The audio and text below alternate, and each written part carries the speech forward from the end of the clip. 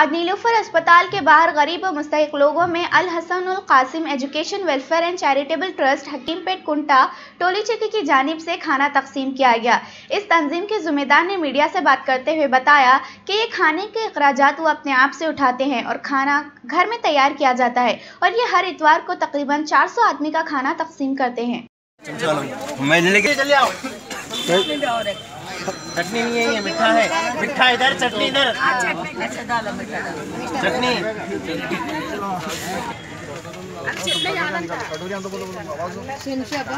इधर हाथ अपने स्पून इधर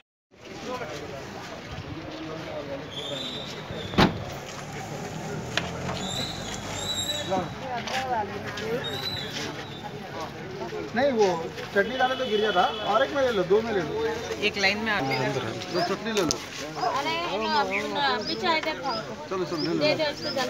जान दो जी कुछ नहीं होता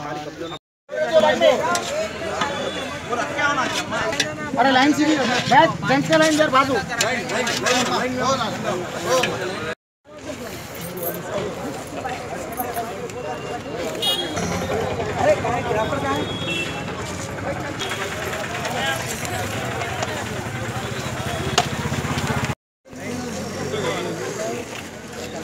आओ जो मैं इधर आओ जी कुठे इधर आओ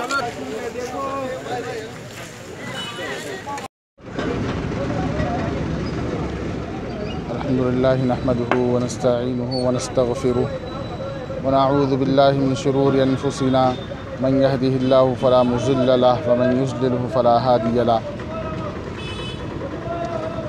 अल्हम्दुलिल्लाह, आज हमारा ये इतवार का पचासवा इतवार है, जो नीलोफर हॉस्पिटल के पास हम लोग खाना तकसीम कर रहे हैं। यहाँ के हालात कुछ ऐसे रहते हैं कि अजला वगैरह के दवाखानों से और डॉक्टर्स वगैरह वहाँ से लिख के भेज देते हैं बीमार।